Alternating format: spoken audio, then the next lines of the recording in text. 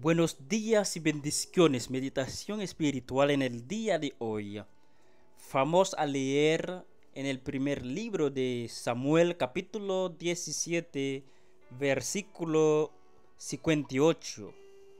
Quien le preguntó, dime muchacho, ¿de quién eres hijo? David respondió, soy hijo de Jesé, el de Belén servidor de su majestad. Título de la meditación. ¿De quién eres hijo joven? Tal fue la pregunta que una vez se le hizo al joven pastor de Israel, David, hijo de Isaí, el más joven y débil de la familia. Pero, debido a que su corazón era todo para Dios, iba a recibir la unción real, armado y revestido con la única autoridad del nombre del Señor, supo vencer a Goliat, liberar al pueblo y llevarlo a la victoria. La misma unción que le llevó al aprobio por el camino del sacrificio, el rechazo los peligros de una vida de fe y obediencia a Dios, lo sostuvo, lo fortaleció y lo hizo triunfar. Ella lo llevó a dejar los rebaños de su padre, así como los honores de la corte del rey.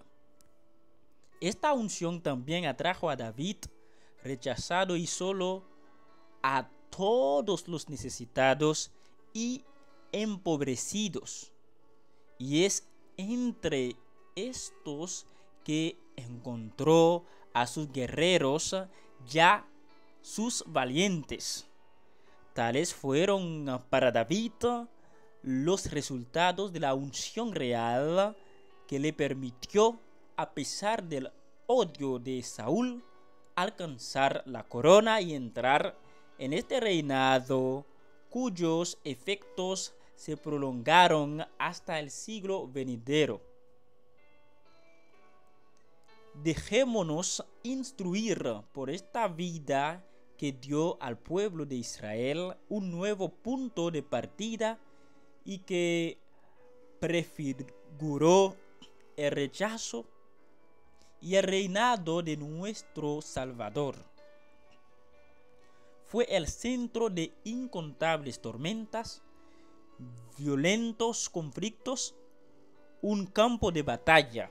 Pero David había sido llamado, había obedecido y Dios le había tomado la palabra. ¿De quién eres hijo, joven?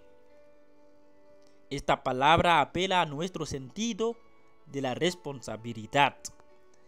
Si somos hijos, somos también herederos del Hijo de David, herederos del servicio de las almas perdidas.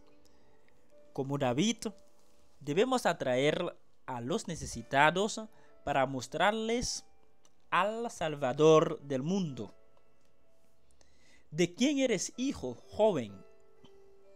Responde a esta pregunta directa que se te hace en el nombre del Señor, el amigo de los pecadores, aquel cuyo nombre llevas.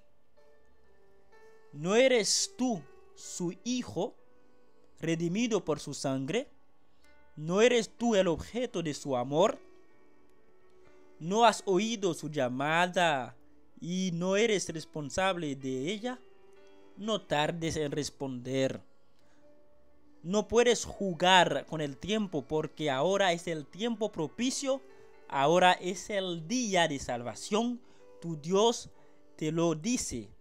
Vive la vida de un verdadero hijo de Dios. Dios nos bendiga. Feliz y bendecido día.